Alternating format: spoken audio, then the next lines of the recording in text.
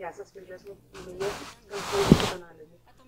Λίγο πριν φύγω για τις διακοπές μου, αποφάσισα να σας ε, βάλω το βίντεο με την τσάντα Dolce.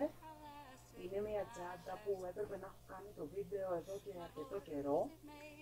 Ε, ε, μου είχε στείλει η Κατερίνα το kit αυτό με το ε, χεράκι Dolce στο χρώμα ροζ πούδρας ε, όλο κάτι άλλο έκανα, όλο κάτι άλλο βίντεο σας ανέβαζα και είχα αφήσει πίσω αυτό το βίντεο. Αποφάσισα όμως λίγο πριν τις διακοπές να σας ευχηθώ να έχετε έναν υπέροχο Αύγουστο και όσοι πάτε διακοπές να περάσετε όμορφα με αυτή την αγαπημένη τσάντα απόλυτα φιλική, υπάρχει σε πάρα πολλά kit, υπάρχει σε αρκετά χρώματα. Το επόμενο χρώμα που θέλω να κάνω εγώ είναι το μαύρο, τα καμπανάκια και οι ειδοποιήσεις χτυπάνε για την Κατερίνα ότι θέλω να μου στείλει μαύρο χεράκι, μαύρο μεγάλο πλέινα, να κάνει μια σημερινή τσάντα μαύρη μεγάλη. Λοιπόν, για τη συγκεκριμένη τσάντα το απόλυτα ταιριαστό νήμα είναι το κατενέλα. Ε, στο κίκ αυτό είναι ασορτή το χρώμα του, είναι το ροζ πούδρας. Και το βελονάκι που θα χρησιμοποιήσω εγώ είναι το νούμερο 3,5. Το κατενέλα πλέκεται συνήθως με βελονάκι νούμερο 4. Όμως, επειδή δεν έχει πάτο αυτή η τσάντα και θέλω να κάνω μια πολύ σφιχτή πλέξη, θα σας πω ότι θα βάλω νούμερο 3,5 και καλό θα ήταν αν πλέκετε χαλαρά να κάνετε και εσείς το ίδιο, να βάλετε ένα μικρότερο βελονάκι. Ε, θα ξεκινήσουμε από τα πλαϊνά μας. Το ένα πλαϊνό το έχω ήδη ετοιμάσει, να κάνουμε μαζί το δεύτερο. Δεν έχω κάνει τίποτα ιδιαίτερο. Ε, απλά έπλεξα δύο άριθμα σε κάθε τρύπα και στους ε, δύο γωνιακούς πόντους έκανα από τρία. Πάμε να το κάνουμε μαζί. Ξεκινάω περνώντας το νήμα με ένα άρθρο, κάνω μια λυσίδα στον αέρα θέλω να έχω ένα το καθαρό πόντο και συνεχίζω με άλλο ένα άρθρο με στην ίδια τρύπα. Σε κάθε τρυπούλα θα κάνω δύο άρθρα.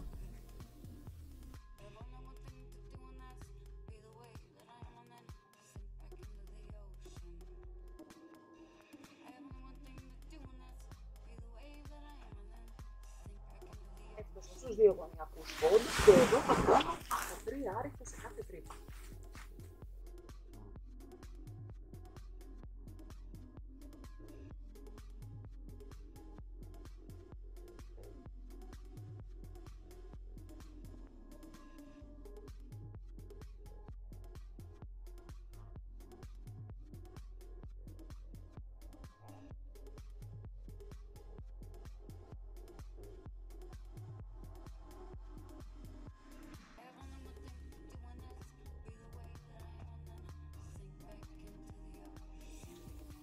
Έφτασα στους δύο επόμενους γωνιακούς πόντους που θα κάνω τρία, άρρητα.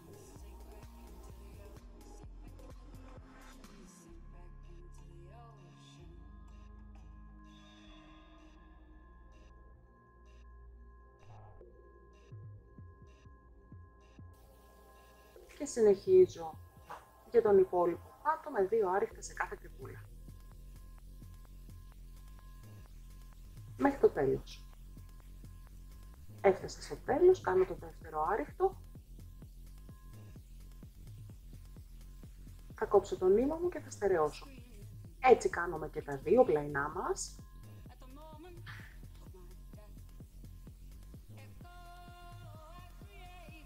Και τα αφήνουμε στην άκρη. Πάμε να ξεκινήσουμε να πλέξουμε το σώμα της τσάντας. Για να γίνει λοιπόν η συγκεκριμένη τσάντα, χρειαζόμαστε ένα πάνελ που είναι το σώμα, που θα γυρίσει από κάτω και θα φτάσει μέχρι την άλλη πλευρά. Στην πίσω πλευρά θα ραφτεί πάνω στο χεράκι ντόλτσε και ένα κομμάτι που θα είναι το καπάκι μας με τους ίδιους ακριβώς πόντους φάρδος, όμως θα γίνει πολύ πιο κοντό, θα ενώσει σε αυτή την πλευρά και θα κατέβει σαν καπάκι. Ξεκινώντας λοιπόν από το φάρδος της τσάντας μας, το μήκος που πρέπει να κάνουμε θα είναι αυτό, όσο είναι περιμετρικά το πλαϊνό μας. Το πλαϊνό μας θα έρθει έτσι, οπότε το σώμα θα πρέπει να είναι αυτό, που θα το τυλίξει περιμετρικά. Άρα ξεκινάμε, κάνουμε ένα αρκετά μεγάλο κομμάτι και όταν φτάσουμε περίπου στο μήκος που βλέπουμε ότι το καλύπτει, το τυλίγει το πλαϊνό μας, θα το μετρήσουμε καλύτερα, θα το προσαρμόσουμε για να δούμε αν είμαστε ok. Με τον ίδιο τρόπο θα κάνουμε και το μπροστινό καπάκι, το κομμάτι, μόνο που θα είναι πιο μικρό και μετά θα προχωρήσουμε στο πώς θα στήσουμε την τόλτσα μας. Για το σχέδιο που έχω επιλέξει εγώ να κάνω στην τσάτα ντόλτσε, χρειάζονται πόντι πολλαπλάσιο των τριών συν ένας πόντος. Τι θα κάνω λοιπόν, ξεκινώντας την αρχική αλυσίδα, μπλέκουμε 3-3 πόντους, 1, 2, 3, 1, 2, 3, ξανά, 1, 2, 3,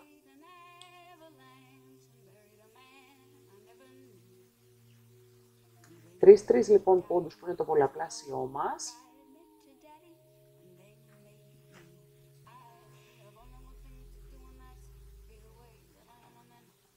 Και τσεκάρουμε πότε θα φτάσουμε το μήκος που θέλουμε. Συνεχίζω εγώ. Έκανα μερικές τριάδες ακόμα και το βάζω στο καπάκι. Τι γίνεται όμως, εδώ πρέπει να τεντώσουμε την αλυσίδα μας. Αν δεν τεντώσουμε, βλέπουμε ότι στα πολλαπλάσια που έχω βάλει τώρα, χωρίς να ξέρω πόσα είναι, δεν έχει σημασία, είμαι ok με το φάρδος της τσάντας. Τεντώνοντας όμως, βλέπω ότι την έχω φτάσει, κάνω άλλον έναν πόντο που χρειάζομαι και σταματώ. Η αρχική μου αλυσίδα λοιπόν είναι έτοιμη. Εγώ θα μετρήσω τώρα την αρχική μου αλυσίδα, γιατί κάποια κυρία μπορεί να πλέξει ακριβώς όπως εγώ, με αυτό το βελονάκι και με αυτό το νήμα. Έχω βάλει λοιπόν 36 που είναι το πολλαπλάσιο των τριών, συν ένα πόντο που χρειαζόμουν, συν ένα πόντο για να γυρίσω. Γυρίζω και κάνω στην αρχική μου αλυσίδα 37 άριχτα.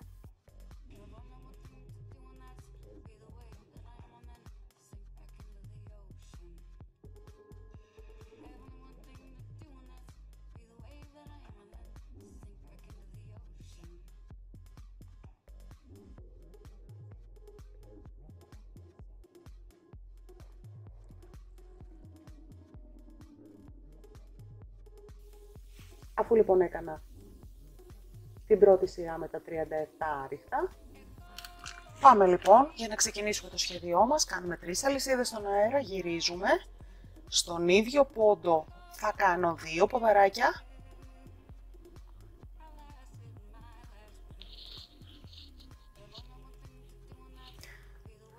Αφήνω τους δύο επόμενους πόντους κενούς και πάω στον τρίτο πόντο και κάνω ένα άριχτο, μία λυσίδα στον αέρα, δύο ποδαράκια.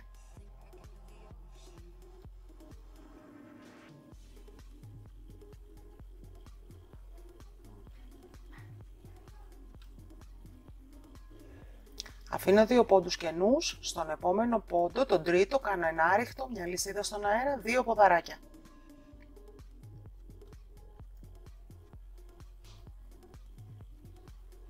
Δύο κενούς, στον επόμενο άριχτο, αλυσίδα στον αέρα, δύο ποδαράκια.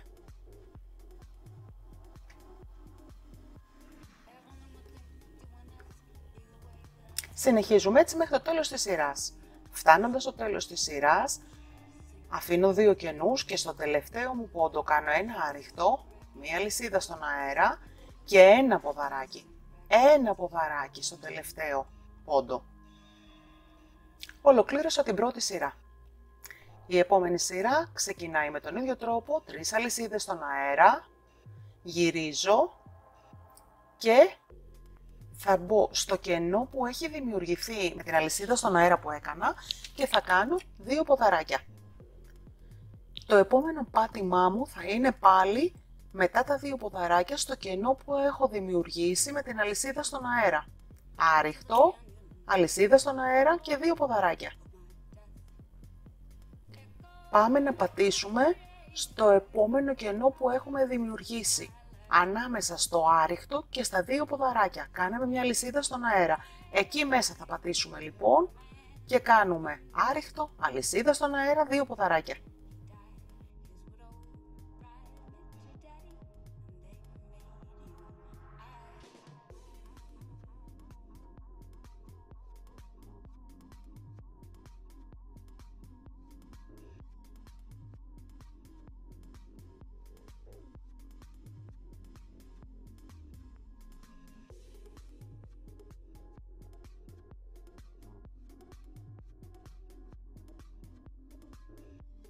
Στο τέλος της σειράς πάμε και μπαίνουμε ανάμεσα στα δύο ποδαράκια και στις τρεις αλυσίδες στον αέρα, ένα ρίχτο, μια αλυσίδα στον αέρα και ένα ποδαράκι.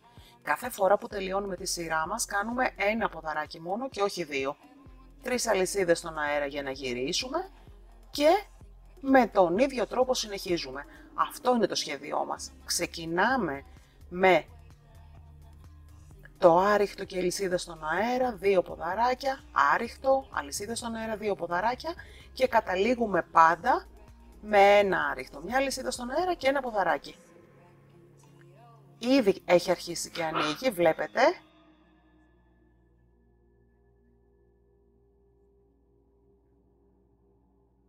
Να σας το δείξω έτσι καλύτερα, που εκεί θα ενωθεί. Και είπαμε ότι αυτό το κομμάτι, που είναι ένα μονοκόμματο μεγάλο πάνελ, το κάνουμε μέχρι να αγκαλιάσει όλο μας το πλαϊνό.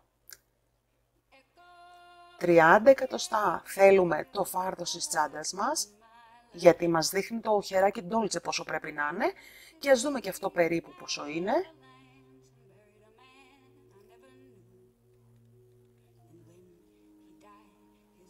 Τουλάχιστον 45 εκατοστά λοιπόν.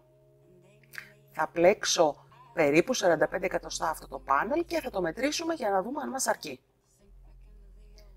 Έτοιμο το κομμάτι με την πλέξη που σας έδειξα, 45 εκατοστά το ύψος του. Το φάρδος αυτού του κομματιού είναι 28 με 29 εκατοστά, αλλά κάνοντας και την περιμετρική σειρά που θέλουμε για να δέσουμε το πλεκτό μας, θα γίνει ακριβώς όσο είναι το, το χεράκι μας. Για πάμε να τσεκάρουμε, μας καλύπτουν αυτά τα εκατοστά. Ξεκινάμε. Το θέλω ακριβώς εκεί, γιατί η περιμετρική θα ξεφύγει λίγο πάνω που θέλω εγώ για να κλείσει η τσάντα.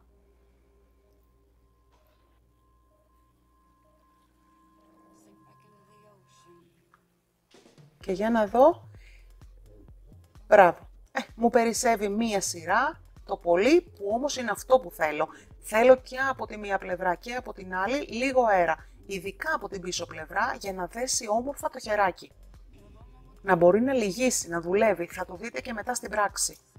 Και αφού λοιπόν είδα ότι είμαι ok και σταματάω σε αυτή τη σειρά, μόλις τσεκάρετε το ύψος σας και είναι εντάξει, θα είστε από την καλή πλευρά και βλέποντας λοιπόν την καλή πλευρά, ξεκινάμε να κάνουμε την περιμετρική σειρά της στεφάνη με τα άριχτα για να στρώσω το πλεκτό μου κομμάτι.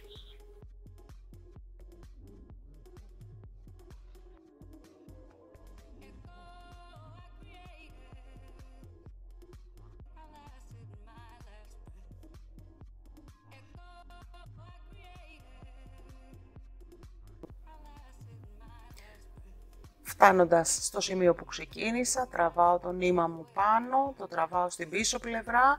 Σας έχω δείξει σχεδόν σε όλα μου τα βίντεο πως κάνω το κλείσιμο, το στερεώνω με βελόνα και είμαι έτοιμη. Αυτό είναι το μεγάλο κομμάτι της τσάντας. Αν υποθέσουμε ότι αυτή είναι η πίσω πλευρά, θα πάει και θα ραφτεί επάνω και θα έρθει μέχρι μπροστά που εκεί δεν ράβεται. Σε αυτή την πλευρά θα ράψουμε το καπάκι μας.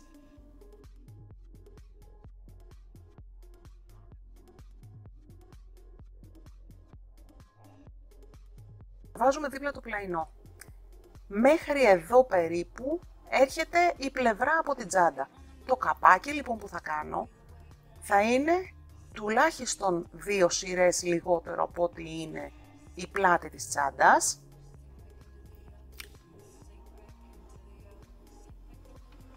Περίπου 15 εκατοστά λέω εγώ ότι χρειάζεται το καπάκι. 15 εκατοστά για να κατεβαίνει αρκετά χαμηλά, αλλά να έχει και περιθώριο προς τα κάτω, να μπει το λουκέτο, το ντόλτσε. Ξεκινάμε λοιπόν και κάνουμε τους ίδιους πόντους φάρδος ακριβώς, αυτές τις σειρές για τα 15 εκατοστά και την περιμετρική σειρά. Μόλις ολοκληρώσουμε και το καπάκι, πάμε να επενδύσουμε τα κομμάτια μας. Θα κόψω τη φόδρα μου διπλή αυτή τη φορά, δηλαδή δύο φορές όσο είναι το φάρδος της τσάντας, Γύρω στα 65 εκατοστά λοιπόν θέλουμε το φάρδος και ύψος τα 45 εκατοστά, 50 δηλαδή το ύφασμα. Και αφού κόψουμε το κομμάτι, το ύφασμα για διπλό που το θέλω, κόβουμε ε, σάλπα αυτοκόλλητη και πλέγμα ακριβώς στις ίδιες διαστάσεις που είναι το κομμάτι. Εμένα δεν μου αρκεί να βάλω σκέτο πλέγμα σε αυτή την τσάντα. Θέλω να είναι πάρα πολύ στακάτη, γι' αυτό βάζω και το, την σάλπα την αυτοκόλλητη. Με διευκολύνει βέβαια αφάνταστα και στο πώς θα φτιάξω το ύφασμα επάνω, γιατί κολλάνε όλα πάνω στη σάλπα και είναι πολύ πιο εύκολο να σταθεροποιηθεί και το πλέγμα και το ύφασμα. Πριν βάλουμε όλο αυτό το σκληρητικό πάνω στην τσάντα μας, διπλώστε τη στη μέση και βάλτε δύο σημάδια με τους ποντοδείκτες σας ακριβώς στη μέση του πλεκτού πάνελ. Θα μας χρειαστεί αργότερα. Για να μην μετράμε, τώρα που διπλώνει το κομμάτι, διπλώστε το και βάλτε τα σημάδια σας. Το επόμενο βήμα είναι να πάρω αυτή την, αυτό το, τη σκληρή επένδυση που έχω κάνει, τη βάζω πάνω στο ύφασμα. Θα το σταθεροποιήσω λοιπόν το πλεκτό μου με όλο αυτό με τα clips. Προσοχή, κάτω, εδώ σε αυτή τη γραμμούλα, κάτω από αυτή τη γραμμούλα να είναι η επένδυση. Μην μου το φέρετε πάνω πάνω τσίμα τσίμα, γιατί όταν θα διπλώσει η τσάντα, αν το έχετε φέρει εκεί θα εξέχει. Κάτω λοιπόν από, την από τον τελευταίο πόντο ράβουμε την ενίσχυσή μας και τη φόδρα μας. Έχω ράψει την επένδυσή μου, αλλά έχω αφήσει τη μία πλευρά, την πάνω πλευρά, την μπροστινή της τσάντας, χωρίς να την έχω ενώσει. Θέλω να έχω πρόσβαση για να μπορέσω να βάλω στο μπροστινό το κούμπομά μου. Καλή πλευρά θεωρώ την πλευρά που πηγαίνουν προς τα πάνω οι πόντι της πλέξης μου. Έχω βάλει και ένα σημάδι από το δίκτυο για να θυμάμαι ποια είναι. Εδώ λοιπόν που θέλω να βάλω το κούμπομα, θέλω να μπορώ να έχω πρόσβαση μόνο στο πλεκτό, γιατί δεν θα περνάει από όλες τις επενδύσεις που έχω κάνει. Αφήνουμε λοιπόν ένα κομματάκι για να μπορούμε να το δουλέψουμε και το ίδιο θα κάνω και στο καπάκι της τσάντας μου. Αφού λοιπόν φτιάξω ένα καπάκι μέχρι αυτό το ύψος περίπου, θα αφήσω και ένα κενό για το λουκέτο, θα είναι ένα ίδιο κομμάτι με το πίσω. Δεν έχω κάτι να σας δείξω, ακολουθήστε την ίδια διαδικασία. Ολοκλήρωσα λοιπόν και εγώ το κομμάτι μου, έκανα και την περιμετρική σειρά. Αν υποθέσουμε λοιπόν ότι κάπου εδώ πάνω θα μπει το καπάκι και θα ραφτεί στην άλλη πλευρά στο χεράκι ντόλτσε,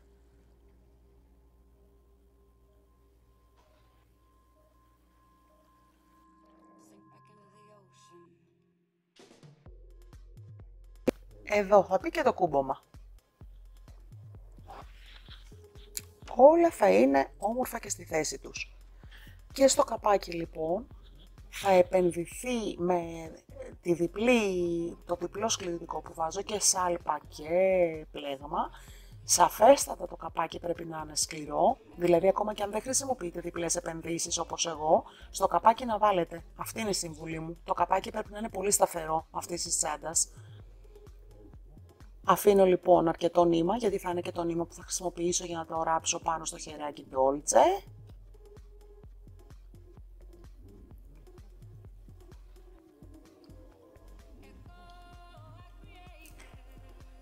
Λοιπόν, πάμε στο μεγάλο κομμάτι. Το μεγάλο κομμάτι που είναι ήδη έτοιμο, έχω αφήσει μόνο ένα μικρό κομμάτι για να μπορώ να έχω πρόσβαση να κάνω τη δουλειά μου, θα το ενώσω με το πλαϊνό μου και θα σας πω αμέσως γιατί. Ενώνοντας κάποια κομμάτια της τσάντας μου, αρχίζω και έχω μια συνολική εικόνα για να καταφέρω να τη στήσω όμορφα και ίσια. Πάμε λοιπόν να σας δείξω αυτό το πλαϊνό πώς θα το ενώσουμε. Το σημάδι που σας είπα και βάλαμε στο κέντρο του πλεκτού χρησιμεύει στο να ράψω το πλαϊνό μου ολόισια. Έχω βάλει ένα σημάδι και στο κέντρο του πλαϊνού και Ποντοδείκτη με ποντοδείκτη τώρα ξέρω ότι εκεί πρέπει να μπει για να χωριστεί η τσάντα μου στην μέση. Αφήνω λοιπόν από την κλωστή που έκοψα ακριβώς τη μισή στη μία άκρη και από την άλλη και το άλλο κομμάτι της κλωστής ξεκινάω και ενώνω με τη βελονιά με άνδρος πόντο πόντο το καπάκι με την τσάντα.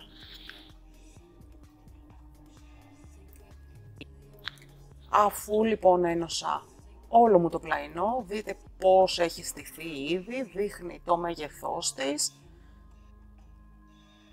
δείχνει πώς θα είναι, πίσω έχω αυτούς τους δύο πόντους περίσσιους που θέλω για να ράψω το χεράκι μου, το οποίο θα μπει εδώ. Και αρχίζει και δείχνει σιγά σιγά η τσάντα μας. Πάμε να ράψουμε το χεράκι ντόλτζε στη θέση του για να ράψω μετά και το χεράκι. Έτσι θα δω ακριβώς που θα βάλω το κούμπομά μου και μετά θα ενώσω τις, ε, τα κομμάτια που έχω αφήσει ανοιχτά. Λοιπόν, βάζουμε σύριζα το πλεκτό μας στις τρυπούλες και στο τελευταίο, στην τελευταία θηλιά της σειράς που κάναμε με τα άριχτα, κάνουμε μικρές όμορφες βελονιές από αυτή την πλευρά, όσο μπορούμε πιο μικρές για να μην φαίνονται και περνάμε πίσω στις τρύπες από τον ντόλτσε. Να το το χεράκι μου. Πάμε τώρα να ράψουμε και το καπάκι από την άλλη πλευρά.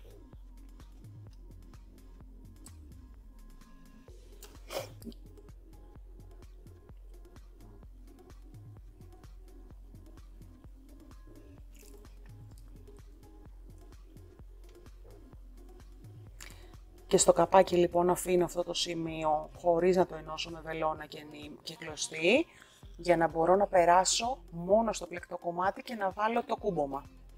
Ίσως να σας φαίνεται λίγο περισσότερη δουλειά ε, ή πιο κουραστικό. Πιστέψτε με όμως, είναι πιο σίγουρος αυτός ο τρόπος ώστε να βάλουμε σωστά το κουμπομά μας για να μην στρίψει ή μην κουμπούσει στραβά η τσάντα μας. Εάν πριν την επένδυση φανταστούμε ή ακόμα και μετρήσουμε το πού θα μπει το μαγνητάκι, το κούμπομα, οτιδήποτε χρησιμοποιήσετε, να ξέρετε ότι με την επένδυση πάντα αλλάζει λίγο η τσάντα, όσο και να μετρήσουμε θα στραβώσει έστω και ελάχιστα. Καλύτερα λοιπόν 5 λεπτά περισσότερη δουλειά και να μας βγει σωστό το κούμπομα, παρά να αναγκαστούμε μετά να ξυλώνουμε. Πάμε λοιπόν να ράψουμε και το καπάκι με τον ίδιο τρόπο ακριβώς που έραψα και το υπόλοιπο κομμάτι στο χεράκι ντόλτσε.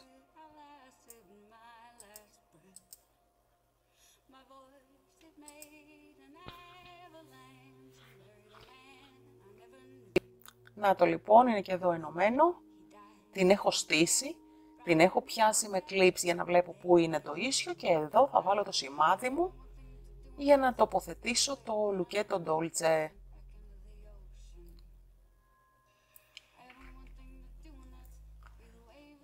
Το πάνω μέρος μπαίνει εδώ, να γιατί χρειάστηκε να το αφήσω κενό, κλείνοντας το κεραυωτάστο δεν θα φαίνεται τίποτα. Τοποθέτησα το κάτω σημείο του λουκέτου, τη βάση του εκεί και η τσάντα μου θα κουμπώνει έτσι. Τώρα πρέπει να ράψω με βελόνα και κλωστή το κομμάτι που έχω αφήσει κενό.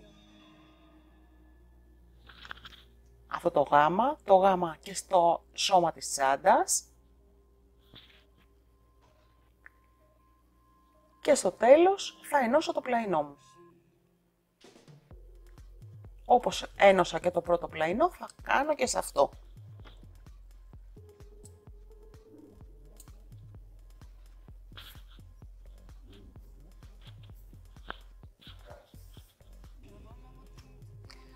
Έτοιμη η τσάντα.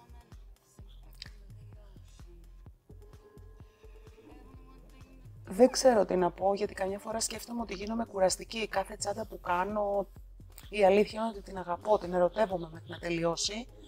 Η συγκεκριμένη τσάντα όμως είναι μια πολύ ιδιαίτερη τσάντα.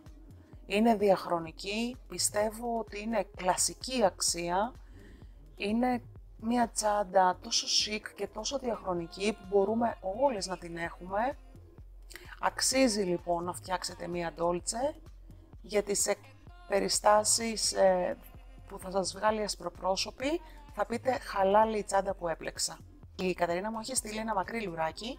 Εγώ όμως, επειδή θέλω τις τσάντες μου περισσότερες φορές να τις βάζω χιαστή, πρόσθεσα ένα κομμάτι αλυσίδα και κρίκους που έχει η Κατερίνα και τους δίνει με το τεμάχιο. Έκανα λοιπόν μία επιμήκυνση στην αλυσίδα μου για να μπορώ να την ε, βάλω και χιαστή. Όλα είναι στη θέση τους και είναι μία λατρεμένη τσάντα. Πολύ καλή λοιπόν επιλογή, εμπιστευτείτε με, κάντε την τόλτσε σας. Εγώ σας ευχαριστώ πολύ που ήσασταν μαζί μου. Αν μόλις με ανακαλύψατε, κάντε εγγραφή στο κανάλι μου, πατήστε το καμπανάκι για να έχετε ειδοποίηση για κάθε νέο μου βίντεο. Και θα τα πούμε την επόμενη φορά με μια νέα δημιουργία.